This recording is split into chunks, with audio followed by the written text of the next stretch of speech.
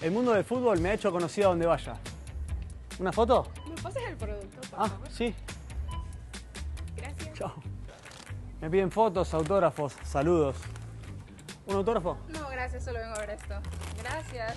Y bueno, creo que más conocidas que yo son las ofertillas.